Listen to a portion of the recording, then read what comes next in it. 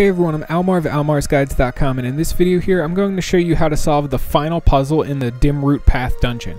So uh, I am in the room right now and this puzzle is moderately difficult I guess. So the first thing you need to do is turn that crystal into a block like you see there.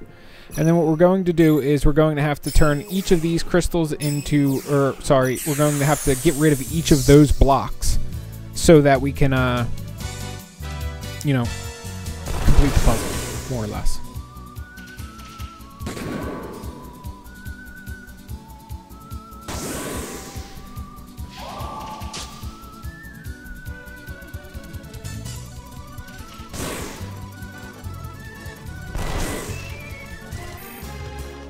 Alright, so back to the puzzle.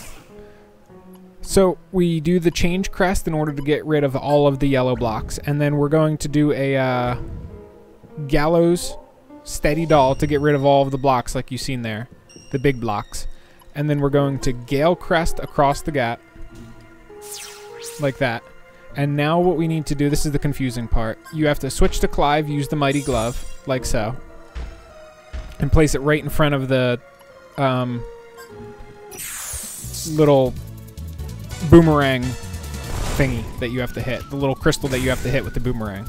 That's weird. I just hit one of those for 11,000, then I hit the other one. Uh, I guess I probably shot the same one.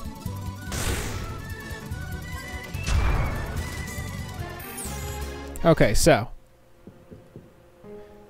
Now you're looking at this and you probably, uh, this is probably the hard part that you're stuck at trying to hit that crystal. Once you move the block though, all you have to do is throw the boomerang into the block, it'll fall down, hit the crystal, and then you're all done, and that's all there is to it. Hopefully this video helped you guys out. If it did, be sure to leave me a like because that helps me out, and aside from that, I will catch you guys around in future Wild Arms 3 videos. Peace!